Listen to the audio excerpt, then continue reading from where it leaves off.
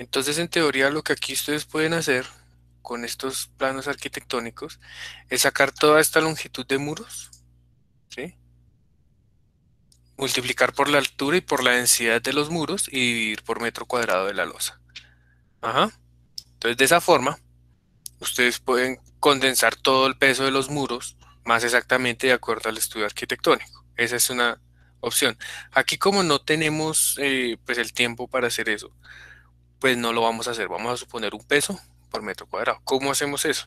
Pues por acá la norma dice, bueno, en caso de que usted pueda evaluar, tenga los detalles, use estas tablas. Aquí usted puede calcular el baldosín, eh, los, perdón, los recubrimientos, las particiones livianas, los enchapes, todo. Pero por aquí hay otra tabla que dice valores mínimos alternativos para cargas muertas de elementos no estructurales. ¿Ya? Entonces dice, cuando tenga edificios con altura entre pisos terminados menores a 3 metros, se puede utilizar como valores mínimos de la carga muerta de área horizontal en planta según el tipo de ocupación. Regálame un segundo a mirar una cosa que tengo por acá. Bueno, entonces, muy probablemente sus proyectos van a tener alturas entre piso mayores a 3 metros, pero vamos a omitir esta condición y vamos a utilizar esta tabla. Entonces aquí ustedes pueden ver que hay institucional, fábricas, educativos, oficinas, reuniones, y aquí les dice, eh, necesitamos es este dato, fachadas y particiones, que son los muros, cuánto le van a colocar por metro cuadrado. ¿Sí? Entonces si tiene mampostería o particiones livianas, entonces ustedes aquí pueden colocar esta carga para los elementos verticales. Listo, esa, era la primera pregunta que me hacían. La segunda pregunta, si efectivamente no vamos a hacer el, el, parqueadero, todo esto viene por acá. Nuestro edificio arranca a partir de este nivel N1, a partir de este nivel, y se extiende, no me acuerdo cuántos pisos es que dice en el documento, voy a leer por acá, dice mm, cuatro pisos y una cubierta. Entonces vamos a contar cómo piso la losa de entrepiso. Entonces, este sería la 1, 2, 3, 4 y esta sería la losa de cubierta sobre el nivel del terreno. Esto no logro acomodarlo. Ya, entonces sobre el nivel del terreno, porque es que aquí en esta parte pues no, no podemos hacer nada porque es una losa de cimentación o unos pilotes o lo que sea. Entonces ahí irían nuestras zapatas. ¿Listo? Y el edificio tendría 1, 2, 3, 4 losas de entrepiso y una losa de cubierta. Eso es a lo que se está refiriendo el proyecto. Entonces la altura total de su edificación pues va a ser de, según esto, 5 pisos, eh, perdón, 1, 2, 3, 4 losas de entrepiso y una losa de cubierta. Bueno, para que no se confundan. Sótanos no, parqueaderos no. Y la otra pregunta que me hacía era de la, bueno, de la carga arquitectónica y eso. Ojo porque este edificio tiene unos vacíos, ¿no? Unos vacíos ahí para que le entre luz a la estructura. Tienen que evaluar todos esos vacíos. Esos vacíos generan unos cambios en los coeficientes R de disipación. ¿Ya? Para que los tengan en consideración. Aquí tienen unos huecos también en los diafragmas. Fíjense que estos tienen unos huecos que cambian. ¿Sí? Los diafragmas. Por acá hay otro hueco, otro vacío. Retrocesos aquí en las esquinas pequeñitos. Unos voladizos. Listo. ¿Cuál es la idea? Les recomiendo que vayan planteando una disposición de vigas y columnas que sean primero acordes a la forma del edificio y segundo que em, tengan el menor impacto posible sobre las divisiones arquitectónicas, ¿no? Si no voy a poner una columna, una viga por acá en el medio, porque pues no, no creo que sea lo, correcto. Poner una columna por aquí en la mitad de la cama, pues realmente no se puede. Listo, entonces vayan pensando cómo van a hacer la distribución de columnas y vigas y preparen unos esquemitas y pues yo les voy asesorando si van bien o van mal. ¿Listo? Profe, ahí en cuanto a la, a qué criterios de pronto seguramente en la norma podemos tomar como para establecer las luces eh, para pues, las vigas, o sea, qué luces mínimas se, se tienen para cumplir con dichos criterios. No hay luces mínimas. No hay luces mínimas. O sea, que yo sepa, no hay luces mínimas en la norma de una viga de concreto. Eh, yo colocaría máximo unas luces. Eso, máximas, perdón, perdón, eran máximas. Ok, yo máximo, máximo por ahí que 9, 10 metros, que no, no me acuerdo cuánto tenía este edificio, déjame revisar. Mm, necesito en esta dirección. 90, 98. No, pues está. Sí, máximo por ahí 8 metros. Máximo 8 metros, 9 metros.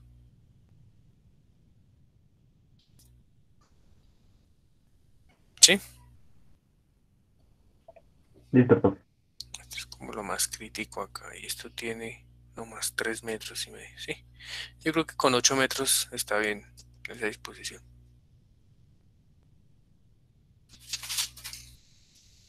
Ahora, tengan en cuenta que eh, a mayor luz, pues mayor altura de viga, ¿no? Y eso de pronto se puede volver un costo mayor en el, en el proyecto.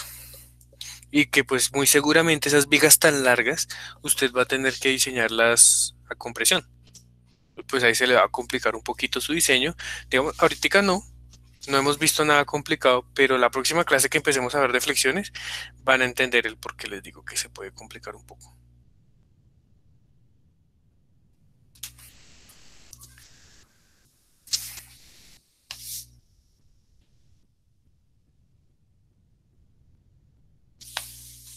Listo.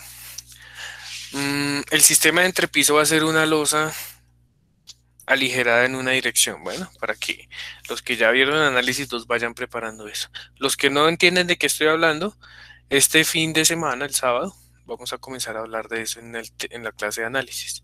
Entonces, les paso, yo creo que ya les pasé el enlace, ¿cierto? Al chat de WhatsApp.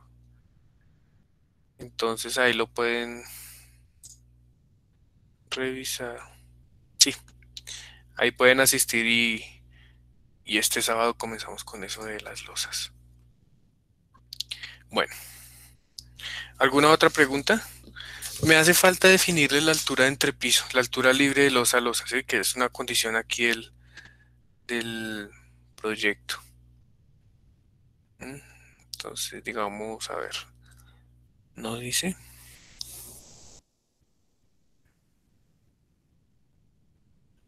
Mm. Me falta definir la altura de entrepiso, la altura de losa a losa. Es decir, lo que yo les voy a definir es la altura que hay entre este punto de la losa, aquí está,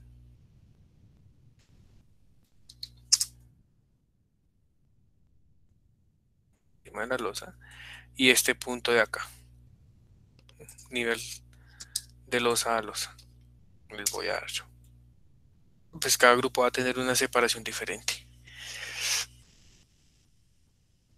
¿Listo, chicos?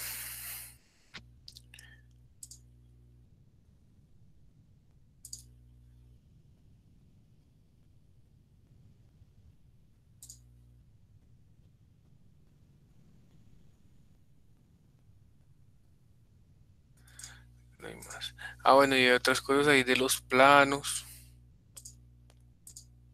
Tienen que tener en cuenta los planos. Bueno. Entonces, si no hay preguntitas, comencemos con la clase de picaste.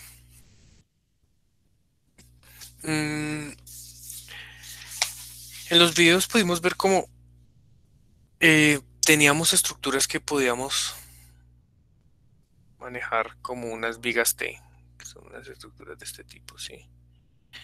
Donde lo que hacemos prácticamente es reducir mm, la sección en algo que llamamos los nervios, ¿sí? que son estos de abajo, y con una torta superior. Estas son unas vigas que tienen unos requisitos aquí de espesores. Bueno. Esas vigas nosotros las podemos diseñar em, de la siguiente manera.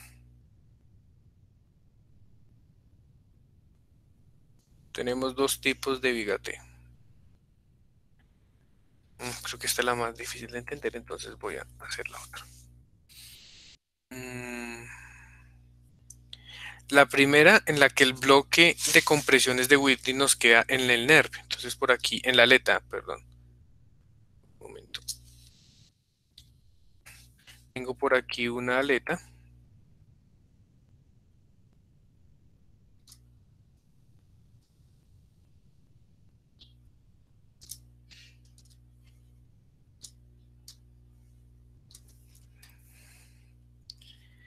T. Entonces tenemos dos opciones para esa viga T. La primera es que el eje neutro quede en la parte de la aleta. Cuando el eje neutro queda en la parte de la, mm, de la aleta, esa viga T se diseña como una viga a compresión, una viga a tracción rectangular de concreto, porque si yo prolongo esto hasta acá abajo y tengo esa viga de concreto, estoy obteniendo el mismo comportamiento, sino que estoy ahorrándome pues todo este material, ¿ya? Entonces cuando tenemos esta situación, se diseña como viga rectangular normal. Una viga rectangular. Pero ¿qué sucede? Puede darse el caso en el que ese eje neutro, cuando tenemos más refuerzo, se encuentre por acá, en la parte del alma. ¿Sí? En ese caso, ¿qué sucede? Nuestra viga se va a dividir en dos tramos. El primer tramo va a ser esta parte del concreto que está aportando a compresión en la parte que llamamos el alma. ¿sí? Las verticales son el alma, las horizontales son las aletas. Pues en el alma tengo un aporte concreto en compresión y ese concreto va a estar en equilibrio con una porción del área de refuerzo atracción. ¿Ya? Una porción del área. Y la segunda parte corresponde a el concreto de las aletas. Ese concreto de las aletas también tiene que estar en equilibrio con alguna parte del acero de acá abajo. ¿Ya? Listo. Y esos son los dos casos. ¿Sí? Uno en el cual se diseña como una viga rectangular y este que se vuelve una viga T. Entonces, al ser una viga T, bueno, al ser una viga rectangular, pues el momento nominal ya sabemos cómo se calculaba. Phi, Rho, Fy, ta, la fórmula de flexión. Pero al ser una viga T, el momento resistente por mi sección va a ser una combinación de dos momentos. Un momento, nominal 1, que va a tomar en cuenta los aportes del concreto del alma con una porción del refuerzo atracción. Y un aporte del momento 2, que va a tomar en consideración una parte de las aletas con otra parte del refuerzo atracción. Entonces el objetivo es determinar cuál de las dos, cuál de las dos eh, nos sirve.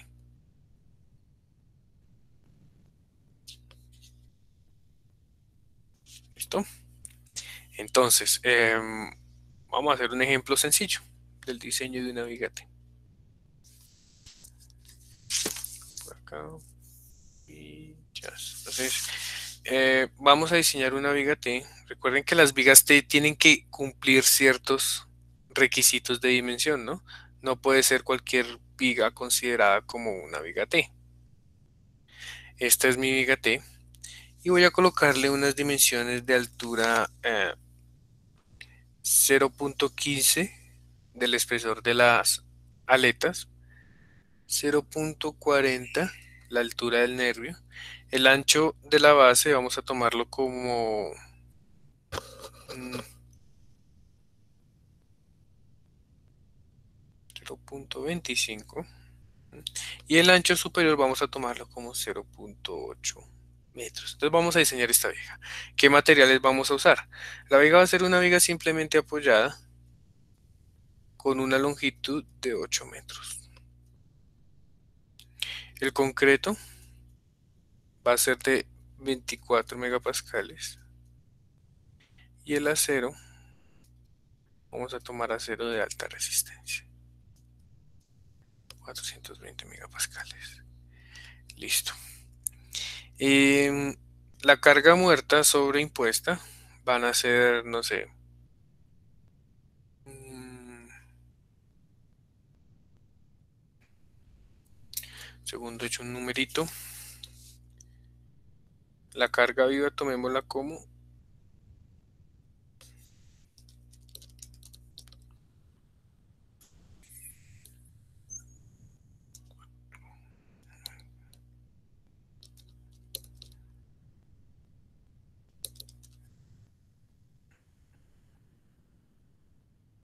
Tomemos un caso normal de carga viva. Digamos que va a ser 12.5 kilonewton por metro cuadrado. De carga muerta, mm, vamos a tomar un valor de eh,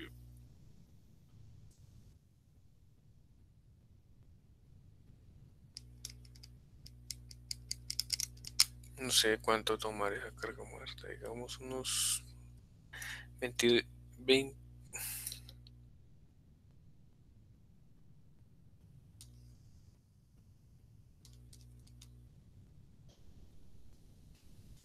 Regáleme un segundo, he hecho un numerito para saber más o menos cuánto necesito.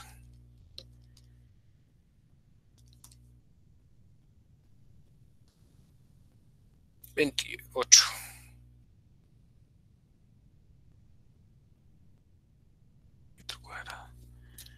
Ah, pero, dale un segundo.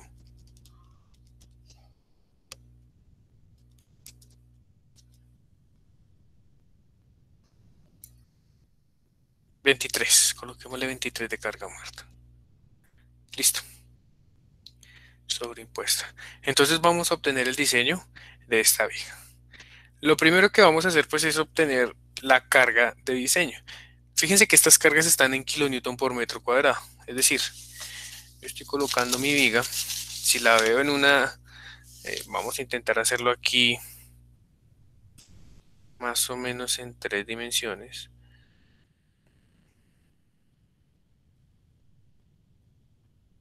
mi viga. por acá continúa hacia el infinito. Yo lo que le estoy colocando es una carga sobre toda esta cara de la viga.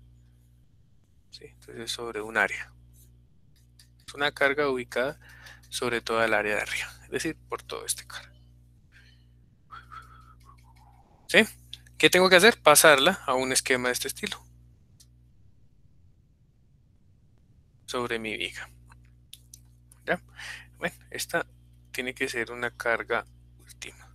Entonces, ¿cuánto valdría esa carga última? Es sencillo. Esa carga última yo la puedo calcular como la mayor de dos combinaciones. 1.4 la carga muerta o 1.2 la muerta más 1.6 la viva. Tengo que evaluarlas porque no sé cuál de esas dos pueda llegar a ser mayor.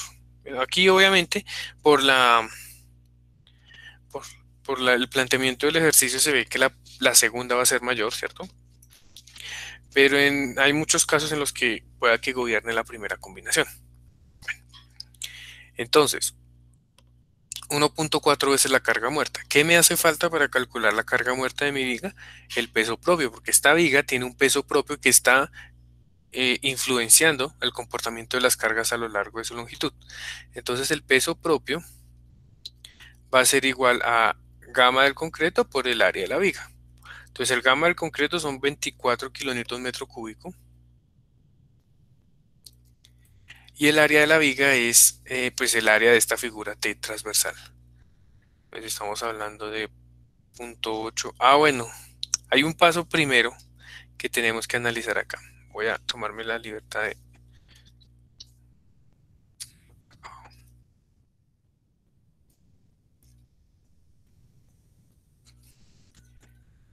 Y ese paso es preguntarnos si esa viga, así como está ahí, verifica las dimensiones de la norma. Recuerden que cuando tenemos una viga T, para que se pueda analizar como viga T, tenemos que comprobar unas dimensiones de norma. Entonces, en este caso estamos hablando de una viga T que está acá, sola, aislada, es una viga T aislada. Entonces vamos a ver qué requisitos dimensionales tiene la norma para vigas T aisladas. Por acá debe estar viga T. Listo. Entonces la norma fue muy clara cuando nos dijo, listo, cuando usted tiene una viga T aislada, tiene que cumplir estos dos requisitos para poder hacer el análisis de viga T. ¿Cuáles son esos dos requisitos? El espesor de la losa tiene que ser mayor o igual a B' sobre 2. ¿Nuestro espesor de la losa cuánto era? 0.15. Nuestro B' era 0.25. Entonces vamos a verificar esta primera. 0.15 contra 0.125, que es B' sobre 2. Entonces, efectivamente el espesor es mayor o igual a B' sobre 2. Esta primera expresión se cumple. Y la segunda dice, su ancho mayor tiene que ser menor o igual a 4 veces el ancho menor. Entonces, 4 por 0.25 me da 1.0. Y esto efectivamente es mayor o igual, perdón, es, sí, esto es mayor o igual a 0.8, que era esta dimensión B de nuestra viga. Entonces, mi viga, ok, cumple dimensiones. ¿Qué pasa si no cumple dimensiones? Tengo que modificarlas hasta que cumpla. ¿Ya? Entonces, como ya mi viga es la cumple dimensiones, vamos a verificarla como una viga T. Entonces, sí, sí cumple.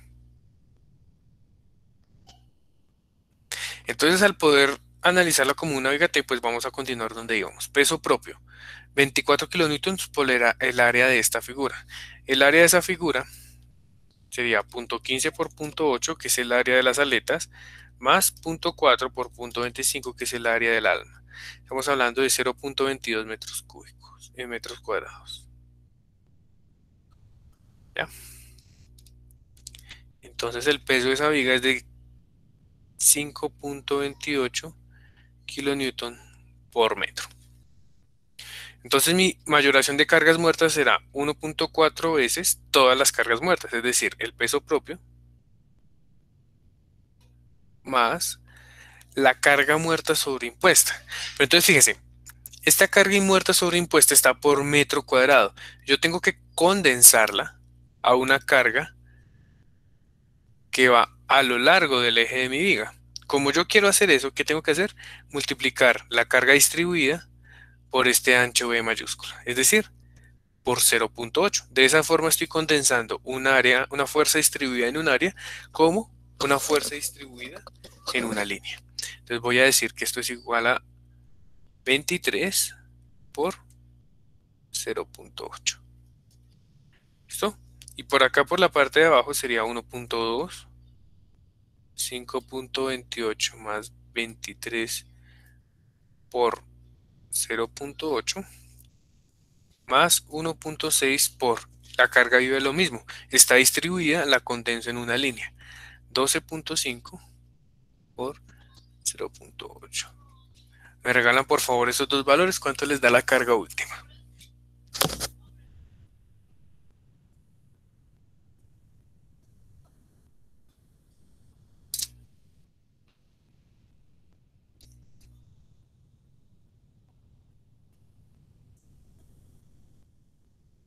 La primera me da 33.15.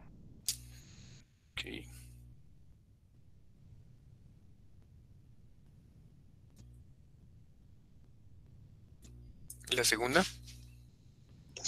44-42.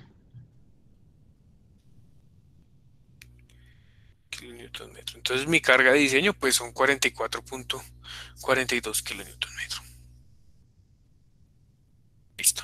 Si esa es mi carga última, lo segundo que voy a hacer es calcular el momento último. Es una viga simplemente apoyada, ¿no? Entonces mi momento último sería W por L al cuadrado sobre 8. ¿Cuál W? Pues W última. Es este 44 de acá. Entonces sería 44.42 por 8 al cuadrado dividido entre 8. Me da un momento último de 356 kilonewton por metro. Entonces voy a diseñar para esa carga de 356 kilonewton por metro. Entonces, esto se vuelve más o menos igual a la de compresión. Tenemos que... Mm, suponemos un tipo de diseño y en base a eso encontramos la profundidad del bloque neutro y determinamos cuál de los dos diseños debemos aplicar. Entonces, em, la suponemos una viga rectangular. Vamos a suponer que es una viga rectangular. Entonces, al suponer que es una viga rectangular, mi viga se vuelve de este estilo. Una viga rectangular con una base de 0.8 metros y una altura de 0.55 em, y creo que eso era lo que nos estaba dando. 0.40 y 0.15 0.55 listo. Esa es mi viga rectangular. Esa es la altura de mi viga. Entonces vamos a hacer un diseño normal como viga rectangular. Entonces mi diseño eh, decía lo siguiente. Momento último. Vamos a hacerlo igual a phi por momento nominal. Entonces sería 356 va a ser igual a phi por la cuantía de diseño por FY que eran 420 mil por 1 menos 0.59 la cuantía de diseño por FY que son 420 sobre F' C que son 24 y todo esto multiplicado por B que son 0.8, y por D. Entonces por aquí esto va a llevar unos refuerzos. Voy a suponer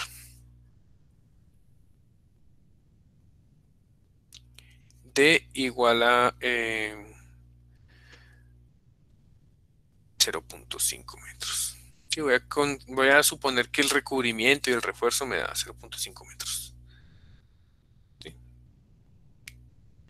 Suponemos SD aquí sería 0.5 al cuadrado. ¿Cuánto me da esa cantidad de diseño, muchachos?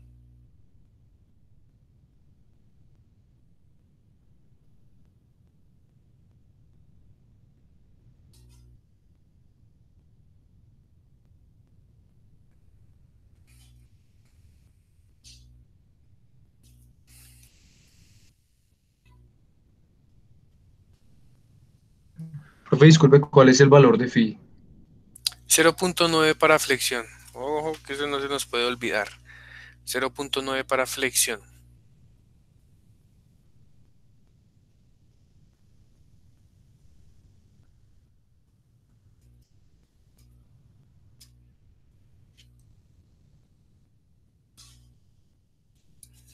¿Cuánto les dio esa cantidad, chicos?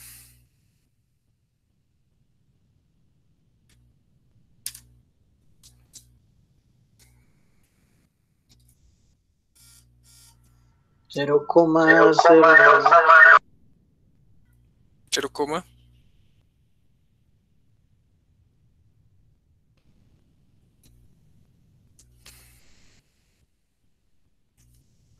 Ya, profe, 0,09. 19. Está altísimo, 0,09. A mí me da diferente, profe. Sí, ¿cuánto le dio? Me dio 0.0049. 63. Listo, pueda que ambos estén correctos, pero entonces recuerden que este producto para esta, para calcular esta cuantía es una ecuación cuadrática, Entonces tenemos dos valores, uno muy alto y uno bajito, siempre tomamos el bajito. Entonces yo me voy a ir con esta. Porque la fórmula es menos b más o menos la raíz de b al cuadrado menos 4ac esta es la solución de la cuadrática sobre 2a. Entonces, estos dos signos, pues los calculo con más y con menos, y la que tome menor, esa va a ser la solución. Listo, esa es mi cuantía de diseño. Ahora, por allá, cuando empezamos a ver flexión, está explicado cómo se calcula la profundidad del bloque de compresiones de Whitney, teniendo en cuenta la cuantía del FY y el D de la viga, ¿no? Entonces, por allá salió una formulita que era como la cuantía por FY por D sobre 0.85 F'C. ¿Sí? Conozco todo en esta ecuación. Entonces la cuantía 0.04963 por el FY, que aquí podemos dejarlo como 420, por la distancia D, podemos colocarla en metros o en milímetros, como ustedes quieran, entonces 0.5 metros. Y todo esto dividido entre 0.85 por 24. ¿Cuánto nos da esa profundidad A del bloque de compresiones?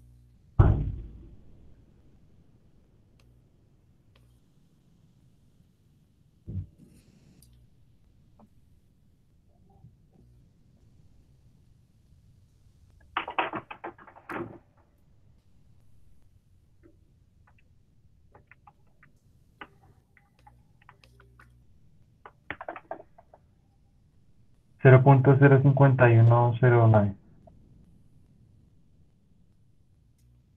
51 metros. Listo. Esa es la profundidad del bloque de Whitney, pero yo necesito es el eje neutro. El eje neutro lo calculo con la letra C, ¿cierto? Lo puedo calcular como A sobre beta 1. Beta 1, pues en este caso es 0.85 porque el concreto no supera los 28 megapascales. Entonces 0.059 sobre 0.85 0.051, profe. 0. No, es decir, eh, A es 0.051, no 59. Ah, gracias. 0.51. Profe, disculpe, a mí la cantidad de diseño también me dio 0.0919. Listo, ya les verifico a ver cuánto nos da. Les vamos a comprobar esa cuantía. Ambos resultados son correctos. Listo, vamos a mirar. Eso está aquí. Creo que aquí tengo una hoja de Excel para eso. Mm. Venimos de diseño simple. Voy a colocar mis variables. Entonces dice el momento último van a ser 356. Aquí está.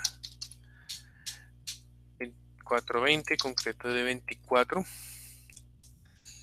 Mm, B va a ser 0.8, D 0.5.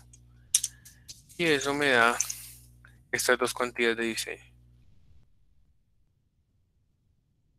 Ahí está. ¿Sí? Que son las dos soluciones de la ecuación cuadrática. Fíjense que aquí está la primera con más, ahí donde tengo el puntero rojo, y la segunda con menos. Entonces tengo que tomar la menor de esas dos, bueno, para que lo tengan en claro, que es la cantidad de diseño. Listo. Entonces, ese me da un C de 0.006. Es decir, mi eje neutro está por acá. ¿Sí? Pero si yo trazo mi viga T en este esquema, mi viga T viene por acá abajo. ¿Mm? Me doy cuenta que efectivamente, con este resultado de C, puedo decir que el eje neutro está en las aletas. ¿Qué quiere decir que el eje neutro esté en las aletas? Que hago un diseño como viga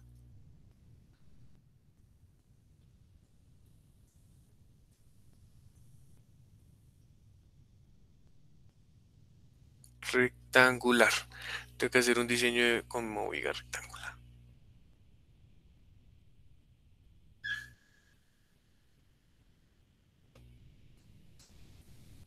¿Listo? Pregunta, Inge, si hubiese dado el eje neutro en la parte delgada de, de la viga, ¿cómo se tendría que diseñar? Eh, dime, perdóname. Que si hubiese dado el eje neutro no en las aletas, sino en la parte delgada de la viga. Ah, listo. Ya ahorita hacemos un ejemplo con eso. No te preocupes. Más- Listo. Entonces, al diseñar como viga rectangular, ¿qué tengo que hacer yo de verificación? Pues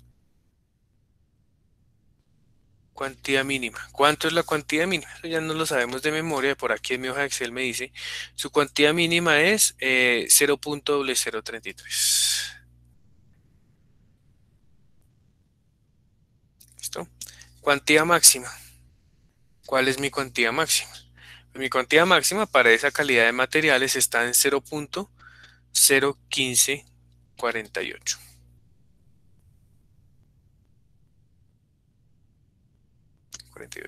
La cuantía de diseño está en 0.0049, entonces está intermedia entre la mínima y la máxima. Entonces, finalmente mi cuantía de diseño sí vendría siendo 0.04963. Listo, ¿qué hago con esa cuantía? Calculo el área de refuerzo, que es la cuantía por B por D. Entonces sería 0.04963 por el ancho B de esa viga, que son, vamos a dejarlo como, en este caso, al ser una viga rectangular, el ancho, el ancho serían 800 milímetros. ¿sí? Y el alto, pues el D que estamos suponiendo, 500 milímetros. Entonces sería mm, 0.04963 por 800 por 500. Me da un refuerzo de 1985 milímetros cuadrados. Con eso que hago, propongo un refuerzo. Entonces, 1985. Eso me debe dar por acá. 1985, aquí está. Entonces, no sé. Enfilados no coloquemos, coloquémoslos todo en una sola fila, a ver si alcanzamos. Colocamos 8, 2 número 8, 2 número 7 y nos queda faltando. Pero entonces ya la separación no nos sirve. Entonces nos toca colocarlo en dos filas. Entonces 3 número 8 en la primera fila. En la segunda coloquemos 2, 1, número 7. Coloquemos 2 número 7. 2 número 8 más 2 número 7. Están como muy altas. Aquí coloquemos estas en número 7. 3 número 7 y 3 número 7 en la segunda fila.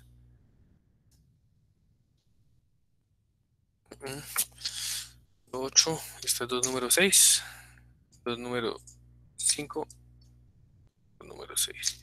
Listo, entonces voy a colocar 3 número 8 en una primera fila y 2 número 6 en una segunda fila. Entonces voy a colocar para esto 3 número 8 más 2 número 6. Entonces por aquí abajo en mi nervio, aunque sea una viga rectangular, tengo que tener en cuenta que yo voy a retirar todo este concreto, ¿no? Y que mi separación pues tiene que ser medida en estos 0.25.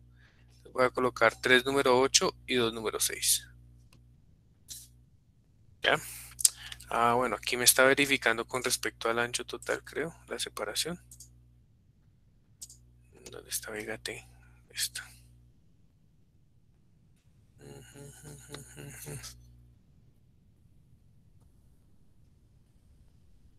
Dale un segundito, reviso mis hojas. Bueno, listo. Entonces ya con esto, yo tengo eh, criterios para decir, bueno, en el nervio voy a colocar en la primera fila inferior 3 número 8 y en la segunda 2 número 6. ¿Qué tengo que hacer ahora? Encuentro el D real. Y con ese D real vuelvo a hacer lo mismo. Verifico la profundidad del eje neutro. Si sigue estando en la parte de arriba, calculo la cuantía de diseño, calculo el área y verifico hasta que esto me cumpla.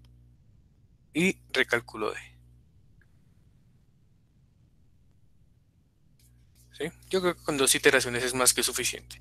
Y ese sería el diseño de mi viga cuando el eje neutro está en la parte de la aleta. Es bastante sencillo, muchachos. Lo mismo que hemos visto en rectangular, solo que aplica una viga T.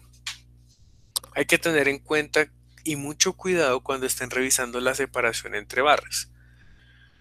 Sí, porque yo acá tengo un error en mi hoja de cálculo. Y es que esta separación entre barras me la está verificando con el ancho. Creo que es con el ancho. No, no, no, no, no. Mm, me lo está verificando con el ancho total de la de la viga, ¿no? Esto es un diseño para una viga rectangular, pero si ustedes programan una de viga T, pues tienen que tener cuidado con eso. Aquí muy probablemente no me dé cuando lo actualice. A ver qué pasa si aquí yo le pongo punto 25, que es el ancho de mi pues con 4 número 8 eh, para los 25 centímetros y me cumple. Me dan 42 milímetros de separación. con 4 número 8 Sí, señor. y sin número 6. Sí, señor, pero una fila de número 8. De 4. Sí, ya me toca revisar esta hoja porque debo tener algún error. Fíjense que no. Profe, perdón, ¿y no será que está utilizando la hoja equivocada? Es que abajo yo veo que usted dice que usted tiene una que dice flexión viga T. Sí, pero es que la verdad no me acuerdo cómo funciona esa. No Ah, la ya. alcancé a revisar, entonces prefiero no usarla. Porque lo que hace, ah, bueno, sí. Aquí calcula la profundidad del eje neutro y dice si es bigate o no. Ajá. Bueno, venga, verificamos a ver si me acuerdo cómo es esta hoja. Estos son 356, concreto de 24, 420. El ancho B es .8, la altura H es .55. El D inicial va a ser .5. D pues no lo necesito. Ya. El B prima .25 y el ancho .15. Entonces aquí verifico las dimensiones, exacto. Por aquí verifico otra dimensión con el ancho. Y empiezo. Entonces fíjese, aquí están nuestras dos cuantías, nuestra cuantía de diseño, la mínima, la máxima, la cuantía balanceada, la cuantía final de diseño. Se vuelve la misma que teníamos. Y dice diseñe como una viga normal. Entonces calculo la profundidad del eje neutro C. Me dice exacto, es una viga rectangular. Y ahí viene el diseño. Entonces me está pidiendo 2639. Bueno, aquí tengo algo raro. No sé cómo estoy haciendo ese diseño. Sí, es que no. No, no sé qué es. Ah, aquí dice diseño vigate, entonces por aquí abajo decir diseño viga compresión. Mire que no está. Pues todo esto de acá abajo no me sirve. Hasta aquí me sirve mi hojita de cálculo para este ejemplo. Entonces de ahí vaya y diseñe como una viga rectangular. ¿Mm? Entonces toca tener cuidado con las separaciones. Bueno. Eso en cuanto a la viga T aislada. Ahora vamos a hacer otro ejemplito diferente con una viga T cuyo centroide de compresiones nos dé en la parte de la aleta. Em, a ver qué tengo por acá.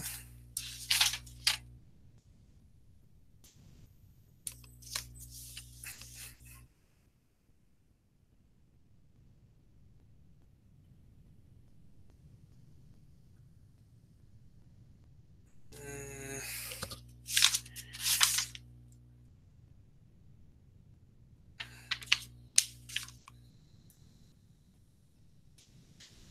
Tocaría bajarle a la calidad del concreto. Entonces diseñamos esa misma viga con un F'C de 21 megapascales. ¿Ya? Entonces, todo inicialmente es lo mismo. Tengo que calcular cuál es la cuantía de diseño, cuál es la profundidad del eje neutro, del bloque de compresiones y cuál es la profundidad del eje neutro.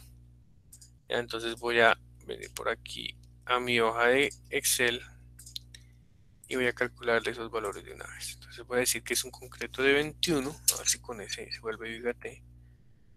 No, ahí sigue viga rectangular. Coloquémosle un concreto mínimo de norma, que sea 17. Mm. Dame un segundito a mirar una cosa. La carga última es de 44. La de 8.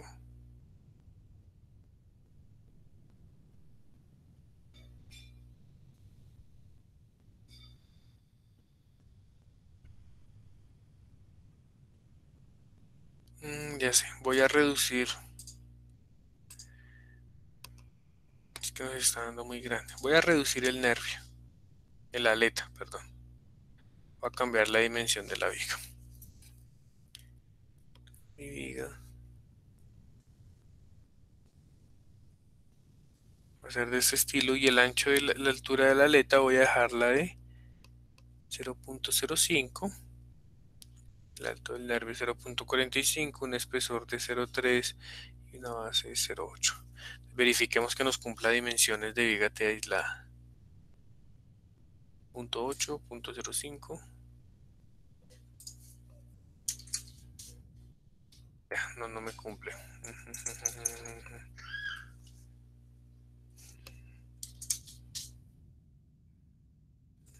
si yo aumento este momento, regálenme un segundito, voy a mirar una cosita.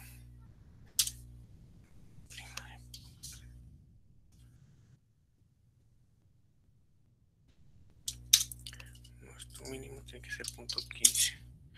Cuando yo lo pongo así, me vuelve vida rectangular.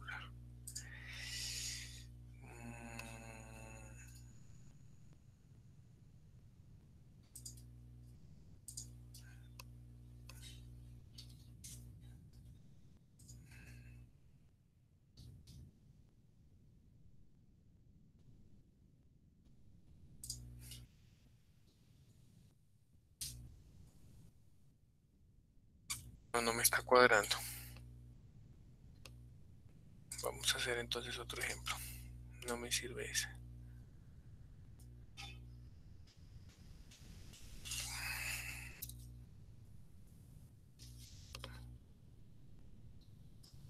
Entonces tomemos una viga en un sistema de losa.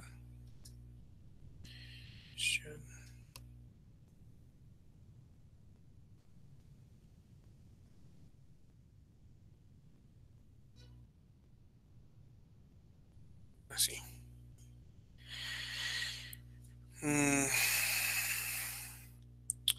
La separación de esto va a ser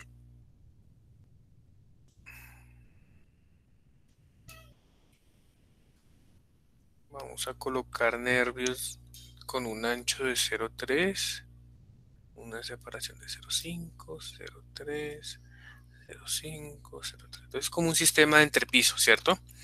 El espesor va a ser 0.05 y este va a ser 0.45. Y entonces vamos a calcular una de estas vigas como si fuera una viga T. Entonces, una viga T continua. ¿Ya? Entonces, para este caso, como la viga T es diferente, cambian las condiciones, ¿cierto? Ya no sería esta de acá abajo, sino sería esta de acá arriba. Entonces vamos a verificarlas acá mismo. L cuartos, si no estoy mal, debe ser eh, la luz de la viga. Entonces L cuartos son 8 metros dividido entre 4 serían 2 metros. El ancho B efectivo tiene que ser menor o igual a 8 metros. El ancho está en 0.8 más o menos. ¿Sí? Entonces, esta primera condición se cumple. La segunda condición, mmm, 8 veces el espesor de la losa es 8 por 0.05. Estamos hablando de 0.45.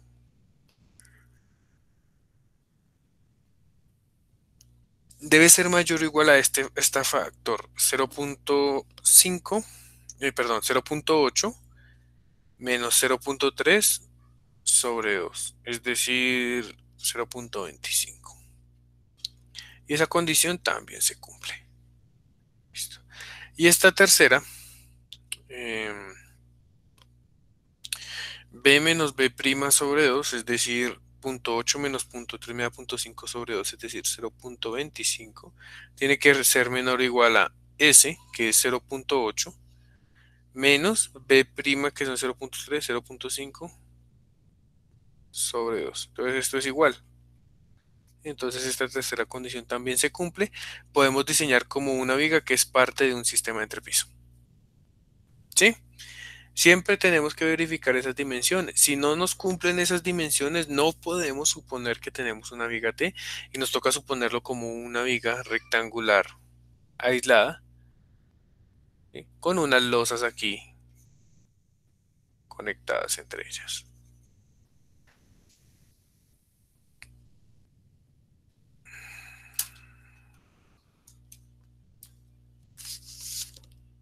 Profe, qué pena. ¿Ese sería el mismo B?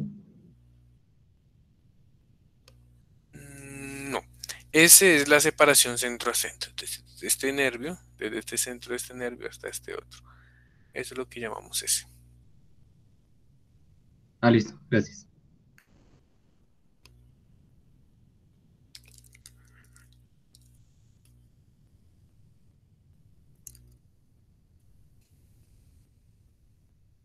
Listo. Entonces ya verificamos las dimensiones. Verificamos las dimensiones, entonces vamos a hacer el diseño de la viga. Finalmente, pues el ancho es la separación entre estos dos. Vamos a diseñar esta viga de acá.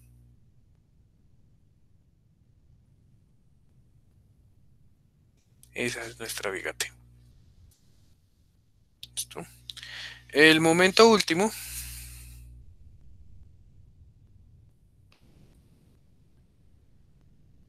pues viene determinado de la carga última, ¿sí? Y la carga última tenemos dos opciones, 1.4 muerta más 1. o 1.2 muerta más 1.6 viva. En esta carga muerta tenemos que incluir el peso propio, ¿cierto? Para que lo tengan ahí en cuenta. ¿Listo? Yo digamos que ya hice todo ese análisis, ya saben cómo se hace, ¿no?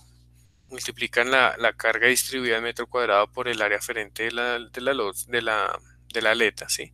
Y obtienen el, las cargas mayoradas, igual que en el paso anterior. Voy a saltarme ese paso y voy a decir que mi momento último son 320 kilonewton metro. Listo. Voy a saltar ese paso y voy a decir que ese es mi momento último. Entonces, ¿qué hago? Lo mismo. Supongo rectangular y calculo C.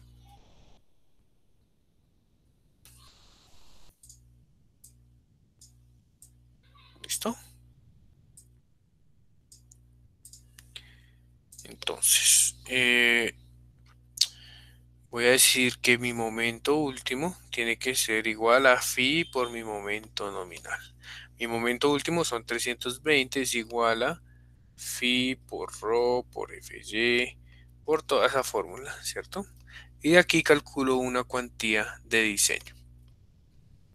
¿Ya? Teniendo en cuenta que mi viga es rectangular. Si mi viga es rectangular, pues puedo decir que la base es 80 eh, y que coloco una altura de cualquiera. Entonces, voy a hacer que esta es mi base, que es la base, la distancia superior, ¿cierto? Y voy a decir que tengo un D, no sé. Vámonos esta vez de...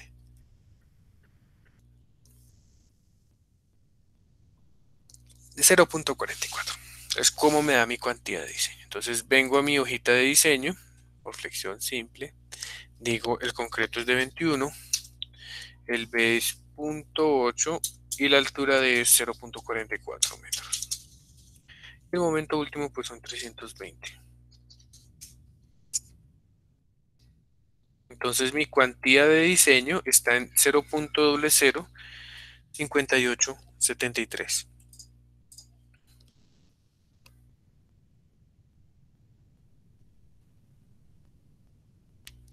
Con esta cuantía puedo determinar cuál es la profundidad del bloque de compresiones de Whitney.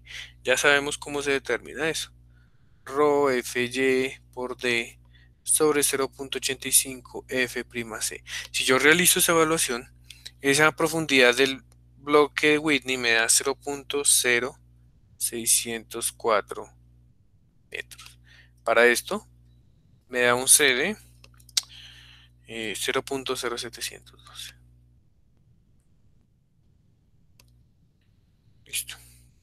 ¿Qué pasa? Esta es la profundidad del eje neutro. Del eje, del eje neutro, sí. Está por acá. A una distancia de 0.07.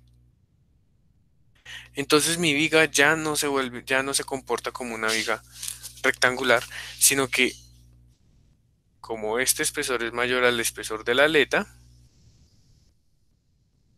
entonces diseño una viga T.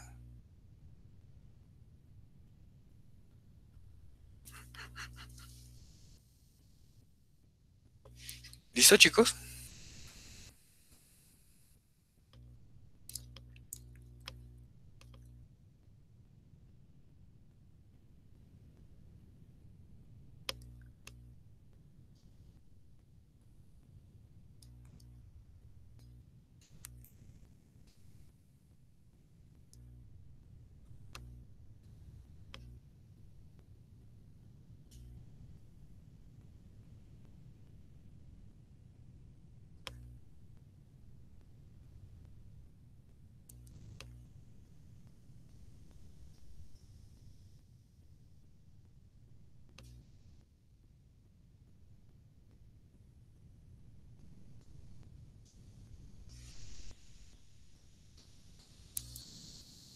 Listo. Entonces revisemos qué nos decía el video de presentación de la, de la viga con el eje neutro en el alma. Aquí vemos el de la aleta, el del alma. Listo. Entonces, como está en el alma, tiene dos momentos de diseño. Un MNW, que es el momento de, del alma, o del nervio. W de web, en inglés alma. Y F de flange, de la aleta. Listo. ¿Cómo determinamos cada uno de esos? Por ejemplo, MNW lo podemos determinar eh, estar aquí más adelantico. Bueno MNW lo podemos determinar por medio de esta expresión. El bloque de compresiones en el concreto multiplicado por el brazo entre los dos. Es decir esta parte de acá hace referencia al bloque de compresiones, a toda esta área. Y esta parte pues es el brazo de esa fuerza, porque eso genera un brazo, este centroide de la carga acá, genera un brazo con respecto a estas barras. ¿Listo? Y con eso determinamos MNW. Y asimismo podemos decir que, recuerden que aquí en la parte de abajo vamos a tener dos tipos de refuerzo. Un refuerzo que coincide con este rojo, ¿cierto? ¿Sí? Que es el refuerzo como de la parte que trabaja como una viga rectangular. Y otro refuerzo que sirve para equilibrar eh, la compresión en las aletas, que sería el azul. ¿Ya? Entonces, mm, vamos a tener distintas armaduras. Vamos a tener el área del alma y el área de las aletas de refuerzo. La suma de estas dos me da el área total de mi viga. Con este MNW, yo estoy en capacidad de encontrar el ASW.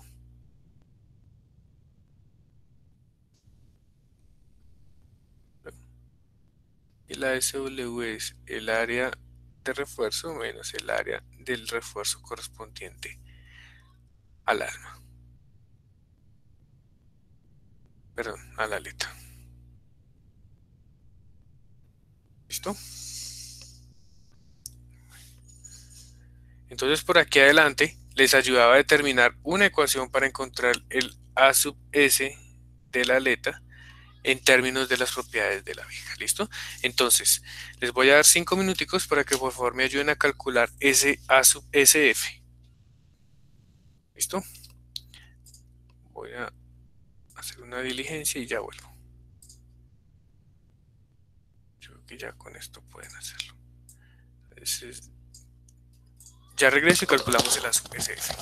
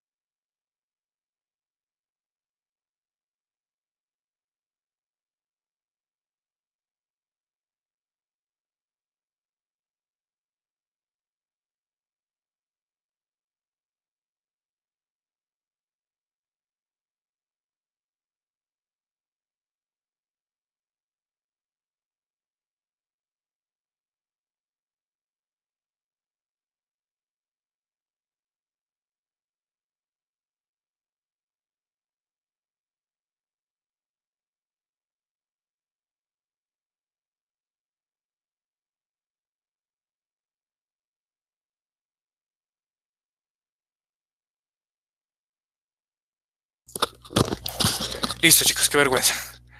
Bueno, entonces vamos a calcular el área de refuerzo que necesito para las aletas. Ah, Eso es lo primero que vamos a hacer. Porque pues las aletas es lo más fácil de obtener, ¿no? Sabemos exactamente cuál va a ser la dimensión de nuestras aletas. ¿Sí? Sabemos que nuestras aletas están delimitadas por el nervio. Sabemos que esas son nuestras dos aletas. Entonces podemos decir que el área de refuerzo que necesitamos por las aletas la podemos calcular como 0.85 por eh, F'C por B menos B'. y todo esto multiplicado por el espesor de la aleta sobre Fy. Si realizamos esa operación, entonces podemos decir 0.85 por eh, 21 megapascales por 0.8 menos 0.3 multiplicado por 0.05 y todo esto dividido entre 420. ¿Ya?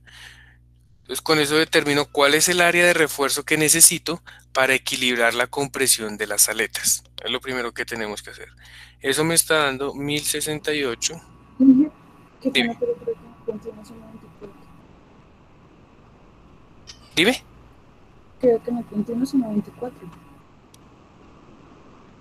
En el FC, en el Ah, ya, no, mira. Aquí lo cambié a 21. Ah, espérate, porque entonces la hoja de cálculo. Sí, mira, también lo calculé con 21 para decir que es una amiga T.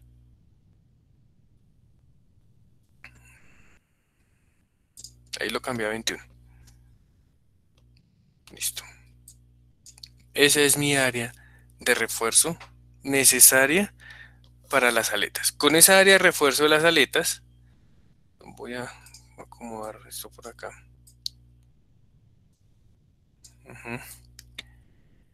Voy a calcular entonces cuál es el momento nominal que desarrollan las aletas. ¿Y ¿Cómo lo hago? Por aquí en el video también se los explico.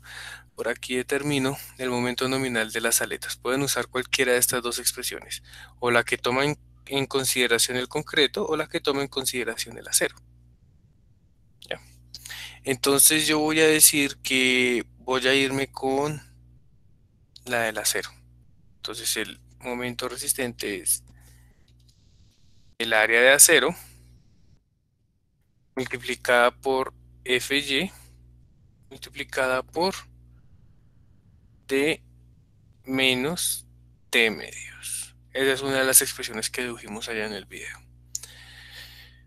Mm, reemplazando, sería 0.01068 por 420.000 por D, que es 0.44, menos 0.05 sobre 2. ¿Listo?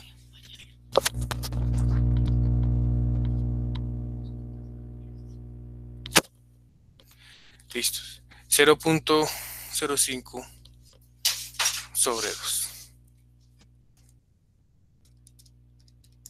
Entonces 420 por 10 a la 3 por 0.44 menos 0.05 dividido entre 2. Me está dando un momento para las aletas de 186.15 kilonewton por metro. Listo. Entonces voy a venir a mi expresión. Mi momento último tiene que ser igual a phi por el momento nominal de las aletas más el momento nominal del alma. ¿Ya? Entonces voy a calcular cuánto debería ser el momento nominal del alma. Reemplazo mis valores. Momento último son 320. Momento de la aleta son 186 y el phi es 0.9. Entonces de aquí, de esta expresión, puedo decir que el momento nominal que necesito para el alma vendría siendo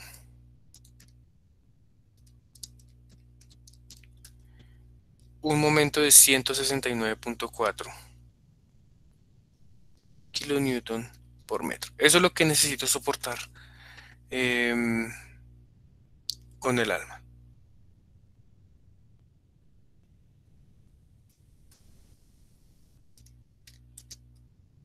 ¿Sí?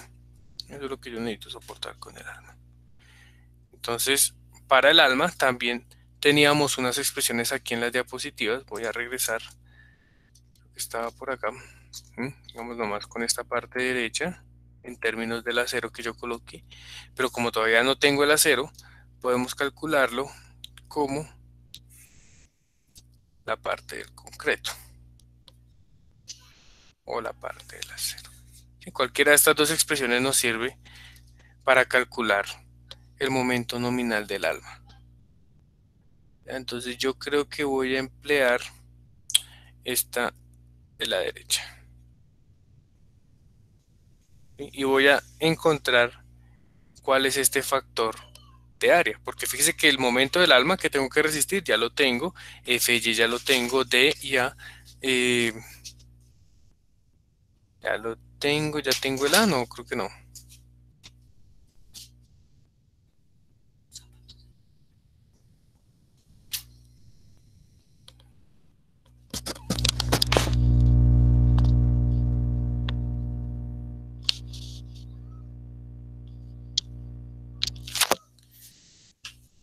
El ano fue el que se calculó inicialmente asumiendo la viga rectangular.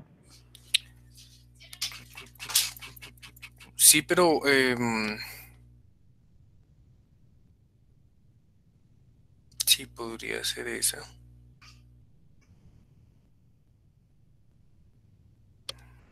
O podríamos hacerlo de otra forma más sencilla. Vamos a hacerlo de otra forma un poco más sencilla para ustedes. Estamos diseñando esto, ¿no? Una viga rectangular de base 0.3, altura estructural de 0.44. Pues diseñemos esa viga, a ver cuánto nos da. ¿Con qué ecuación? Vamos a decir que el, el momento debe ser igual a eh, rho FY por 1 menos 0.59 rho FY sobre F'C por B' por D al cuadrado, ¿cierto? Y de ahí calculamos una cuantía.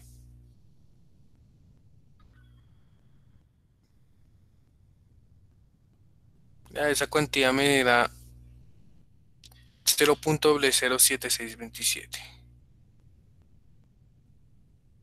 Y esto es lo que yo llamo la cuantía necesaria para el alma. ¿Cuál será el área del alma? Pues será esa cuantía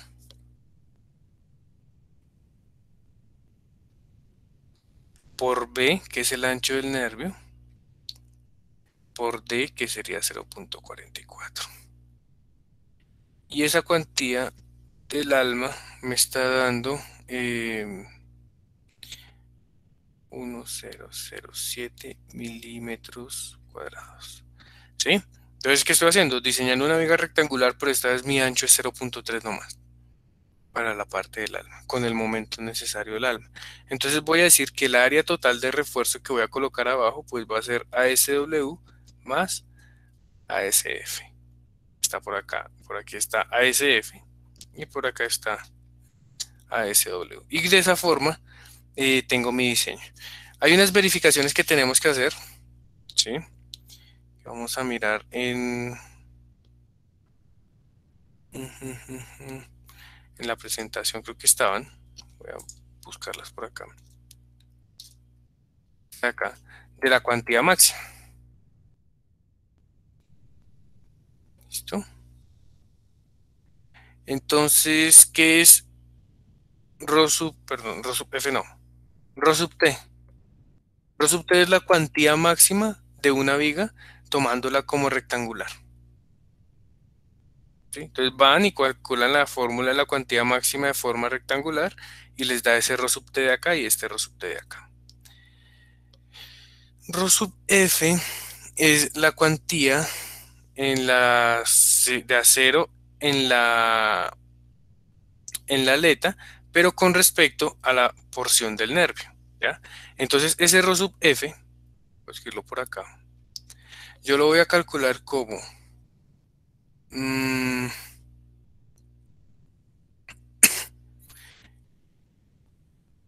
el área de refuerzo que calculamos para la aleta dividido entre B' por D. De esa forma calculamos ese rho sub F. Y rho sub B pues es la cuantía balanceada, que ustedes pues ya saben calcular una cuantía balanceada de la primera parte del curso. ¿sí? Cuantía balanceada.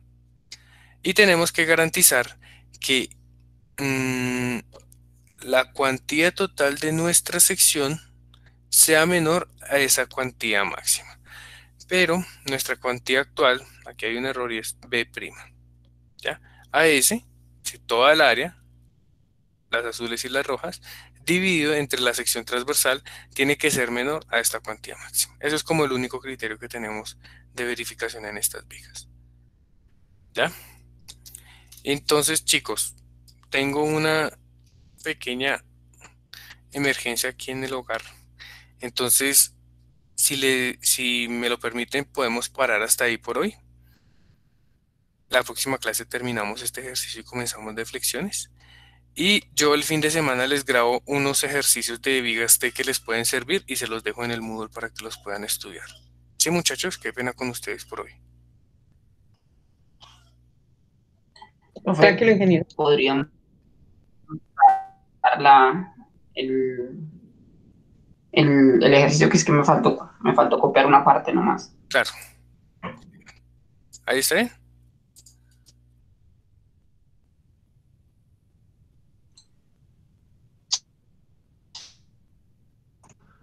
Profe, disculpe, ¿será que usted podría subir los, las presentaciones al Moodle?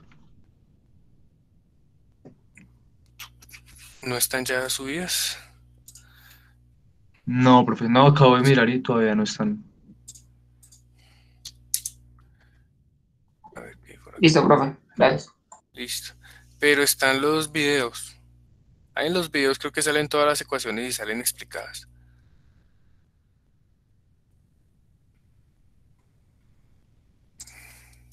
Ah, bueno, sí, sí, ahí están. ¿Sí?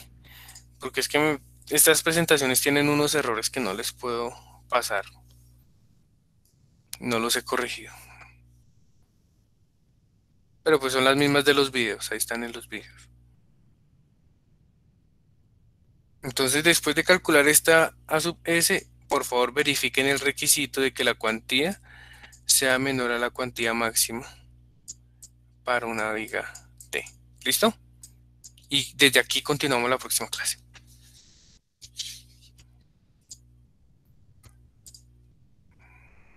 Buenas noches, ingeniero. Bueno, chicos, qué pena con ustedes. Muchas gracias a ustedes. Hasta luego.